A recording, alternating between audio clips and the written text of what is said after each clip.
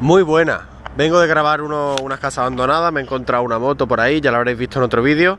69.010 kilómetros tiene la Domi y en este vídeo, que pretendo que sea rápido, os voy a explicar algo sencillo pero que tampoco lo, practica, mucha gente. Dos cositas tienen nombre y otras dos, de las cuales solamente una está incluida en el título, pues eh, es algo que creo que todo el mundo debería hacer y que incluyo, dejo la tarjetilla en el vídeo de qué es el trail y unos consejitos que os doy, ¿no?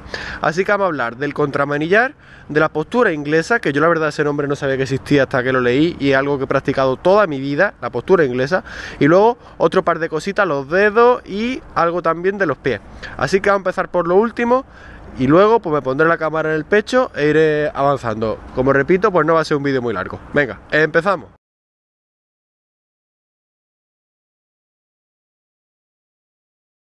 Bueno, el tema de los dedos, o estos dos, o simplemente uno, o este, este también lo usa mucha gente. De hecho, yo en la Dominator me encuentro más cómodo usando este que usando este, pero normalmente llevo dos. Y en el freno también llevo dos. Pero hay gente que, repito, lleva este, el que le, con se hace la peseta, ¿no? Bueno, pues siempre yo aconsejo eh, llevar dedos en las manetas eh, y en el campo más. Y si hay que picar embrague, se pica, no pasa nada. Para eso tenemos un embrague bañado en aceite. Si tuviésemos un embrague en seco, monodisco, como el de la BMW, otro gallo cantaría. Pero un embrague hecho en aceite, no pasa nada por picar un poquito de embrague. En una ruta que hicimos, ya lo he comentado también en otros vídeos, alguien decía, una ruta trail, eh, con un poquito de enduro, alguien decía que nos, que nos quitásemos la costumbre de llevar los dedos en, en el embrague, ¿no? Y yo pensaba para mí dentro, además era una persona que acababa de conocer. Y yo pensaba para mí, ¿tú quién coño eres? Que me acabas de conocer para darme consejos de cómo ir con la moto en el campo. Siempre dos dedos en el, en el freno delantero y siempre uno o dos dedos o uno dos dedos también el freno delantero, uno o dos dedos en el embrague. Y si hay que picar, se pica, no pasa nada. En el campo muchas veces, en vez de bajar de marcha, pum, tocamos embrague, subimos el moto de vuelta y sacamos la moto de donde sea. Así que bueno, pues eso es lo primero que os quería explicar, que no está en el título del vídeo, en el título del vídeo estáis viendo que hay tres cosas, así que vamos con, la tercera que, tiene que tiene que ver también con, con los mandos de la moto. Bueno, la tercera está relacionada con los pies y también lo explico en el vídeo ese que es el trail, que por cierto, fijaos cómo está la moto, le tengo que dar un lavado, pero ya está que no veas. Fijaos, ¿eh? Bueno, pues eso. Los pies siempre por encima, sobre todo en el campo, ¿eh? Siempre por encima de los pedales. Si te viene aquí una rama o lo que sea una piedra, que le dé al pedal, que si se dobla se endereza y si no se sustituye por uno nuevo, pero que no nos dé a los pies. Es más y si hay que tirar de freno, que en el campo ya sabemos que, hay que frenar a veces rápido, es más rápido hacer así que llevar el pie aquí abajo, levantarlo y claca. Así que siempre en el campo los pies por encima de los pedales, tanto el pedal de freno como el pedal del cambio, que ya sabéis que está, en el lado izquierdo, aunque muchas motos van al revés. Llevan el cambio, las primeras bultacos en el lado derecho, el pedal de freno en el izquierdo y también algunas incluso llevan la, la la transmisión plato, piñón y cadena en el lado derecho, pero bueno, llevan la salida del cambio en el lado izquierdo. Así que bueno, los pies siempre por encima de los pedales. Bueno, y ahora vamos con el tema del contramanillar, igual que con el coche el contravolante este, ¿no? Bueno, pues con el contramanillar que consiste en que si yo toco aquí, la moto, ¿veis que el manillar se dobla para allá? Pues la moto no se va a ir para allá, se va para acá. Ahora me pondré la cámara en el pecho y lo practicaremos aquí en esta recta que no pasa nada.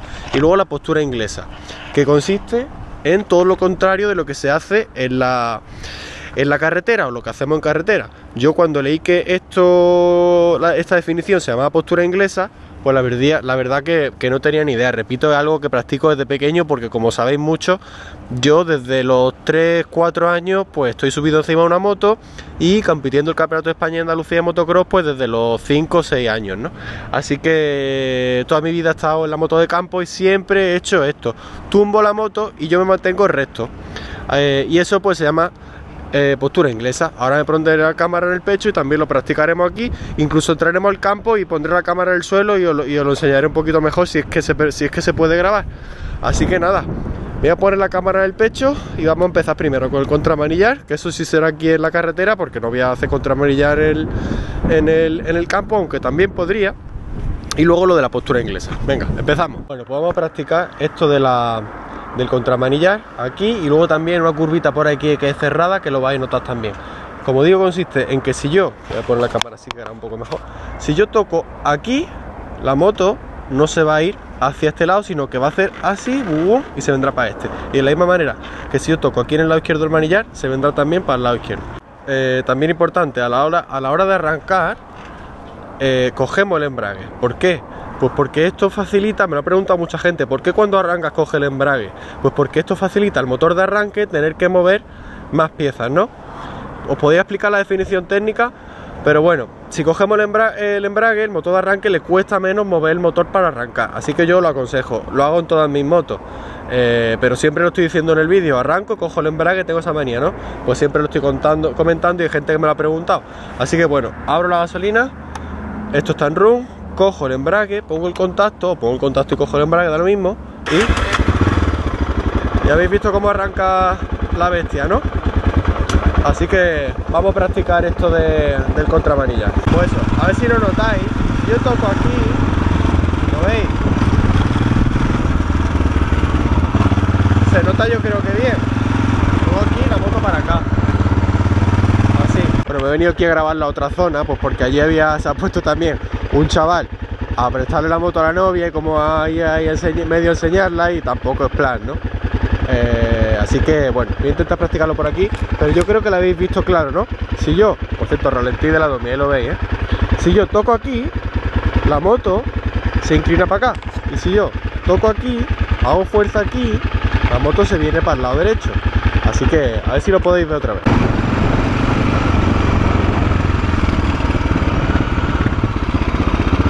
Yo creo, que se nota, que se nota claro. Además esta moto es muy ligera y a poco que toque, ¿lo veis? Se viene para acá. Está controlado, no penséis que me voy a caer ni nada. Así un poquito más. Luego aquí, ¿lo veis? Está, bastante claro, yo pienso, ¿no? Pues yo creo, creo que ha debido quedar bastante claro. No sé cómo lo habrá grabado la cámara, pero yo pienso que sí. Ya sabéis, toco aquí, la moto hace así, hace así el manillar y luego se viene para acá. ¿Habéis visto claro? Y toco aquí, ¡pum! Y no os preocupéis por practicar esto y que os vayáis a caer, no os caéis. Siempre que paséis cierta velocidad la moto sigue recta, no se cae. Eh, esto no, yo lo exagero un poquito, voy a apagar la moto, voy a apagar un poco la moto y lo escuchamos mejor. Esto yo lo exagero un poquito con una mano fuera del manillar, en una zona en la que, repito, es rara vez la que pase un coche, por suerte esta zona todavía, bueno, pues hay poco tráfico. Y bueno, simplemente no hace falta quitar las dos manos del manillar. Haciendo un poquito más de fuerza en esta mano, el manillar hará así primero y luego la moto raca para este lado. Eso eso se llama contramanillar. Y bueno, como yo creo que eso lo, he explicado, ahora voy a explicar lo mismo. Eh, la postura inglesa, tumbo la moto, pero yo me quedo recto. Algo muy normal en los que hacemos motocross y enduro, sobre todo motocross. Así que tiras por aquí, por esta curva, ahí más para adelante hay una curva de 180 grados, tumbo la moto, pero yo me quedo recto. Notaréis que la cámara no se inclina tanto como la moto, aunque no, no se verá bien, bien real. Si tuviese un estabilizador o lo que sea de esto, que la cámara se queda recta, pues se vería mejor. Pero bueno, voy a grabarlo por ahí. Contacto, cojo embrague. Así, ¿lo veis? Vamos a la curva esta.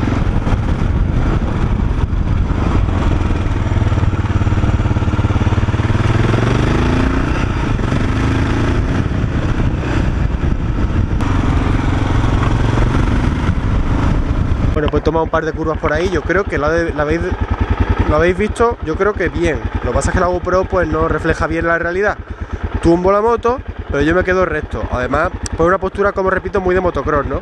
Echa el peso un poquito adelante, mete la moto, en peralte o lo que sea, apoya, tumba la moto, pero tú te quedas recto. Es rara vez la que en motocross tú te tumbas con la moto, aunque también a veces te tumbas. Voy a un campo que hay allí, pongo la cámara en el suelo, ralentí, pongo la cámara en el suelo y también lo vemos. Ahora nos vemos allí. Bueno, pues aquí estamos en este campillo en el que tanta cosa he grabado y mis dos... Mira, una perdiz por allí como corre, se verá muy lejos. la perdiz. Ahí os conté una historia de un Seiko. También aquí abajo tuve una caída muy gorda con la IZ. Allá arriba una caída muy gorda con la KX60 en el año 95.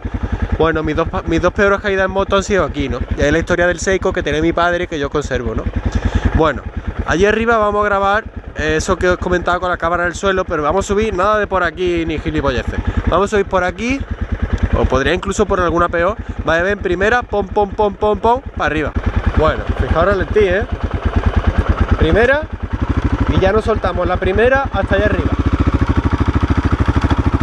Vamos a saltar La cabra tira al monte y a mí me gusta el motocross.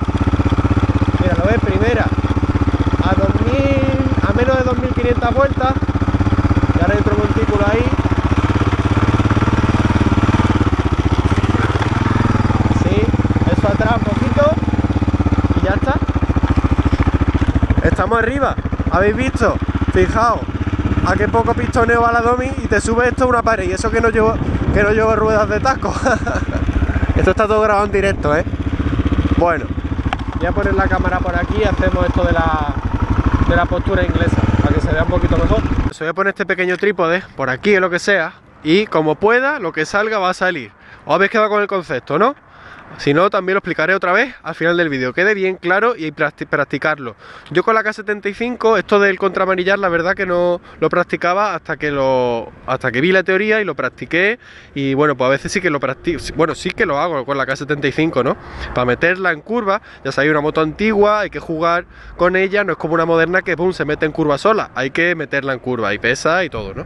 Bueno, eh, habéis visto una moto moderna, eh, trail puede ofrecerte todo lo que yo hago con la Dominator, pero a costa de eh, pagar mucho más y ser más físicamente exigente. Pues porque esta moto es muy ligera, yo la muevo tal cual, ahora me bajo de ella, la pongo así, la patilla, una moto de 200 y pico kilos, pues también puedo hacer todo lo que hago pero hay que estar mejor físicamente. Eh, con la Dominator es que es todo muy muy fácil y es muy muy ligera y muy cómoda, ¿no? Tiene eso, es una XR pero con, el carenado este. Ya está, y unos pocos menos de caballo. Voy a poner la, la por aquí y vemos esto de, la postura inglesa tan motocrossera o crossera, mejor dicho. Pues este, va, este va a ser el ángulo que vais a tener y lo que salga, salió. Me voy, arranco la domi, pasaré por aquí, ahí al fondo hay un peralte y bueno, pues tumbaré la moto un poquito quedándome yo recto. Ese es el concepto que tenéis que tener.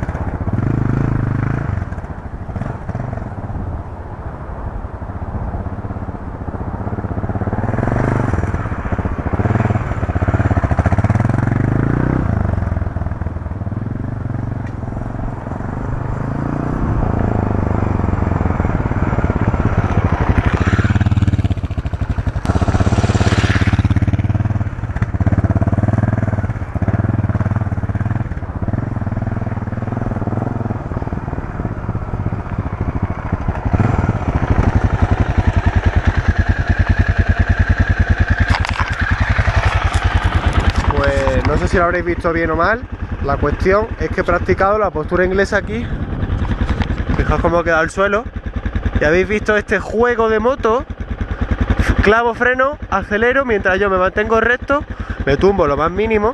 Pero la moto sí que la tumbo y abro Eso, bueno, voy a apagar el motor y lo, lo veo mejor. 69.013 kilómetros. ¿Os habéis quedado la copla? Repito. ¿Veis? ¿Veis? ¿Veis? Es que es tan fácil jugar con, jugar con la Dominator. Fijaos en qué ángulo y con la GoPro se verá ancho he dado 180 grados. Aquí